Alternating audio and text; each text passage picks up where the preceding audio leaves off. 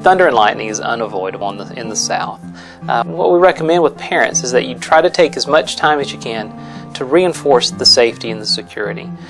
Be cognizant of how you're reacting to thunder and lightning. Making sure what your children aren't doing is simply modeling some of your behaviors and some of your anxieties.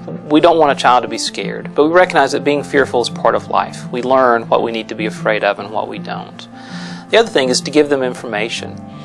As a parent, I think it's important that you explain safety procedures for your, your home and for your family. Uh, show them where, if there were a, tornado, or a tornado siren or a warning, where do you go? What do you do? Do you go to the basement? Do you have a safe place? Do you have a shelter? Um, if you had a child that was old enough to, to kind of pal around with you, let them help with getting bottled water and batteries and flashlights and prepare an emergency kit.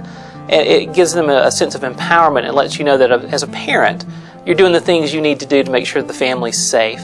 And that way it shows that you're being proactive instead of just reactive to the storm. And while you can never promise there won't be another storm, don't ever make that mistake. Show that you're at least doing all you can to be prepared when the next one comes. I do encourage if there's any concerns, that please visit our website at ameliacenter.org. I encourage you to go there for more information.